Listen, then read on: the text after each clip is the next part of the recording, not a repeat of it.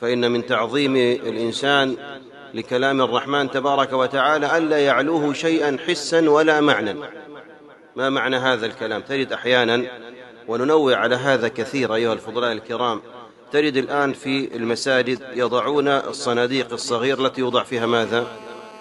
التي يوضع فيها مناديل بعد أو يوضع فيها آه، بقايا آه، القذر الذي يفعله الإنسان ويخرجه من أنفه أو تجد مثلا شرب ماء في قارورة فوضعها في هذا. إذن هي صندوق للمهملات. هي صندوق ليش صندوق للمهملات. فماذا تجد؟ تجد أن هذا الصندوق موجود وعلى يمينه المصاحف وعلى شماله المصاحف. هذه واحدة. الأمر الثاني تجده موجودا في تجاه القبلة. وهذا منهي عنه. قال عليه الصلاة والسلام النخامة في القبلة خطيئة. وكفارتها إزالتها. فكان حذيفة وجد نخامة في القبلة فأزالها فقال الحمد لله أن يسر لنا أن ننام على غير خطيئة. فلذلك ينبغي إذا أراد الناس أن يضعون الصناديق الصغيرة هذه أو السلال الصغيرة التي توضع فيها بقايا القذر تكون في مؤخرة إيش؟ تكون في مخرة المسجد. ولا تكون لا في قبلة المسجد ولا تكون المصاحف عن يمينها وعن وعن شمالها. ولذلك قال البجيرمي رحمه الله وهو من أئمة الشافعية وقال الرملي أيضا في حاشيته على مغني المحتاج ويجل المصحف عن أن يجاور القاذورات. يعني ما يكون بجوار المصحف موجود إيش؟ موجود القاذورات.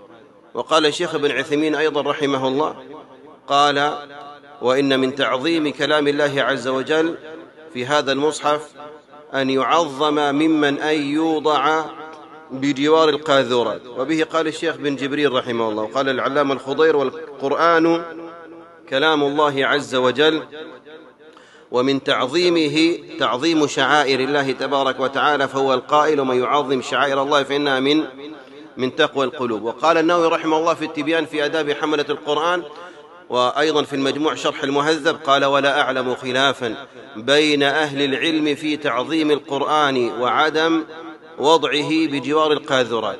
ما يعرف هذا خلاف بين والعلماء متفقون على مثل على مثل هذا. قالوا ولا ينبغي أن يوضع القرآن وأن يوضع فوقه كتب من غير القرآن. لقول ربنا عز وجل في صحف مكرمة مرفوعة مطهرة. قال الشيخ بن جبرين فعليه أن يكون مرفوعا حسا ومعنى. ولذلك لما تجد الآن مثلا كتب في حاشيتها التفسير. في حاشيتها إيش؟ التفسير. تفسير الميسر مثلا تفسير الجلالين تفسير السعدي فتجدهم يضعون فوق إيش؟ المصحف. لا ما يسوغ مثل هذا. المصحف لا يعلوه شيء. المصحف لا يعلوه شيء. توضع المصاحف محضة فوق بعضها. إذا كان في كتب للتفسير فلا بأس أن توضع بالأسفل ويعلوها المصحف. أو أن توضع في أرفف مستقلة بذاتها. لكن ما توضع على إيش؟ على المصاحف. أيضا أيها الكرام الفضلاء من المسائل المهمة. تجد الآن المكيفات اللي بتكون عبارة عن دولاب الكبيرة هذه. فهو توجد مرتفعة في المساجد صحيح؟ وأسفلها لكي يستغلوا المساحة يجعلون مثل الصندوق فيه أرفف وفيه إيش؟ المصحف. لا يسوغ هذا. لأن ما الذي سيعلو المصحف الآن؟ المكيف لا يسوغ مثل هذا. وأيضا تجد في مكان الإمام يكون على هيئة مقصورة. المنبر الآن يكون أحيانا يكون على هيئة إيش؟ مقصورة يعني مكان مرتفع. وتحته غالبا يضعون مكبر الصوت إلى مثل هذا. تكون في مساحة فاضية يضعون تحتها إيش؟ المصاحف فلما يجي يعلو الإمام سيعلو على إيش؟ على المصاحف لا نقول أن أحد أصلا هو يقر ذلك لكن هذه مسائل علمية. هذه مسائل علمية لأن لو أن إنسانا امتهن القرآن عمدا يكفر إجماع أهل العلم. قال به الحنفية والمالكية والشافعية والحنابل واخترت اللجنة الدائمة والشيخ بن عثمان ولا نعلم عليه خلافا بين العلم لا من المتقدمين ولا من المتأخرين أن من امتهن القرآن يكفر عياذا بالله. ونحن لا نقول أنه يفعل ذلك لكن هذه أمور تخفى وهي منتشرة ترى.